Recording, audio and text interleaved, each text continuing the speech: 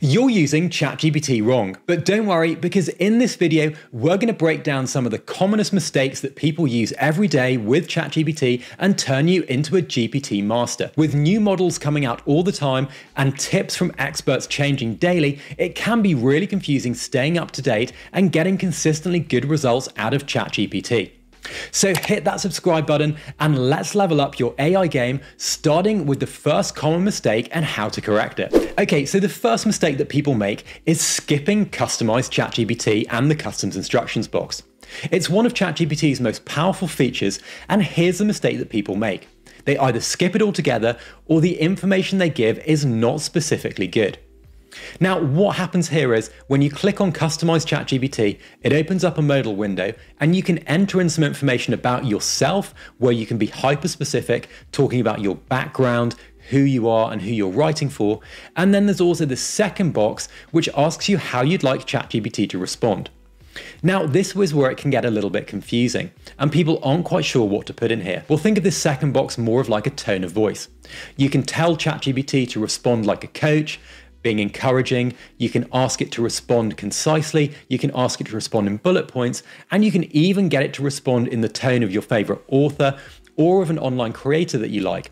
And if you're still stuck here, you can actually go into ChatGPT and ask it to analyze the writing style of an author or someone that you admire online and then paste this into the response box. Once you've saved this, anything you type in and prompt ChatGPT with will take these things into consideration and output in this style and format that's personalized to you. The next big mistake that I see people making all the time is about coding. Now, I get it, coding can seem a little bit intimidating, especially if you studied something like medicine or social sciences in university. But guess what? ChatGPT can actually write really good lines of code for you, and you don't even need to fully understand how it works. I've done this myself and it can help you push out lines of code that you can then put into your Webflow website or help you to decipher things like scripts for Google Docs that can really help you and boost your productivity.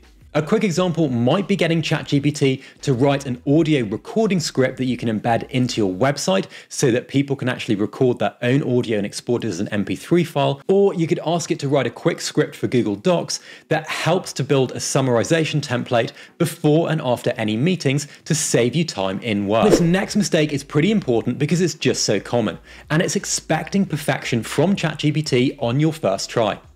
ChatGPT is awesome, but it's not completely magic just yet. Asking for a response and then expecting it to be completely flawless on the first try is going to lead to failure and frustration.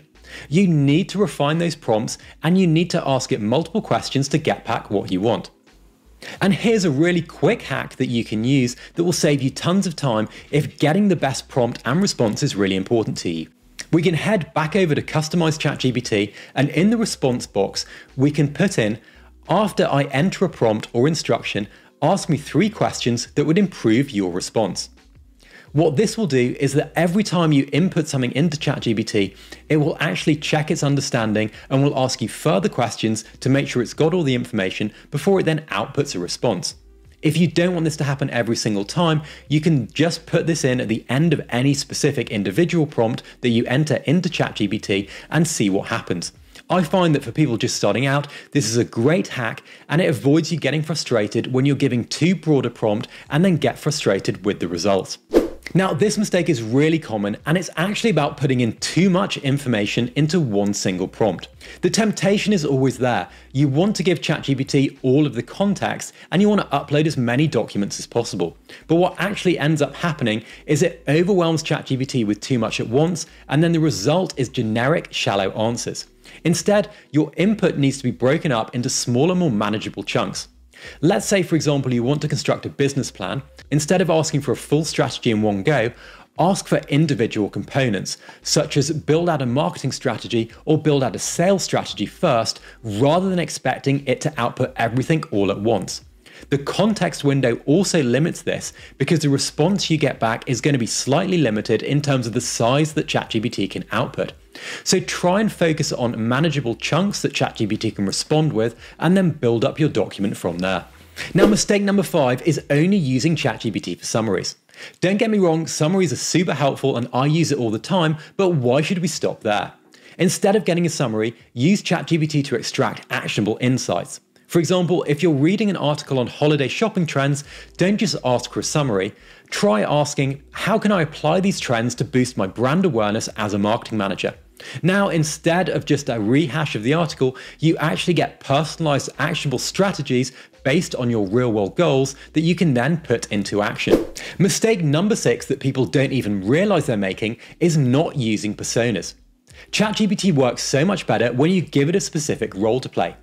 This could be anything from being a life coach to being an expert blog writer with 10 years of experience. And why does this work? Well, it helps ChatGPT tailor its responses to fit that persona that you've asked it to adopt, giving you more relevant, expert like answers.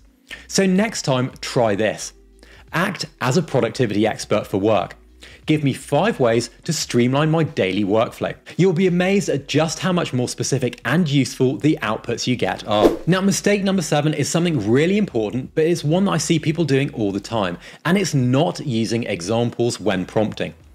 I get it, we all want to get responses back from ChatGPT in the quickest and shortest time possible, but if you take the time and upload an example output of what you want, your results will 10x in terms of quality.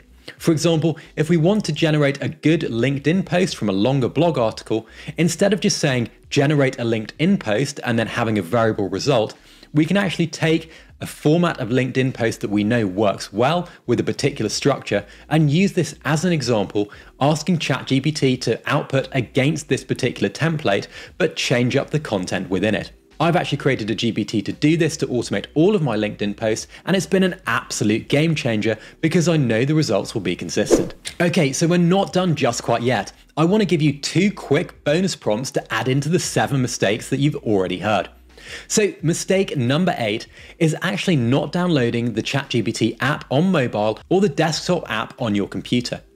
These have slightly better functionality in terms of voice and allow you to access ChatGPT on the go more effectively. I've been using them all the time, and with ChatGPT 4 Vision, you can actually take something like a screenshot of your desktop and have it analyzed by ChatGPT. Or more recently, when I was out at the shops, I took a screenshot of a bunch of different wines and asked ChatGPT to recommend one against some of the favorite wines I've ever had. This gives you access to ChatGPT in a much more free and flexible way, and you're able to use the vision and speech tools in a much more accessible way. Now, our final mistake on the list is all about not keeping up with the latest AI trends and therefore getting the most out of ChatGPT.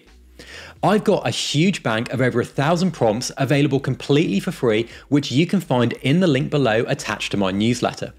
By trying out some of these prompts and experimenting, you'll slowly get better at prompt engineering and understand how ChatGPT works and the fullest extent of its capabilities. This then means that when you need it the most, you can use it effectively and save you tons of time in work or at home and focus on the things that matter in life. Now, I hope you've enjoyed today's video. I've got another great video looking at how you can get the most out of ChatGPT with some more specific prompts, which I'll pop up over here. Thanks so much for watching and subscribing, and I'll catch you again in the next video. See ya.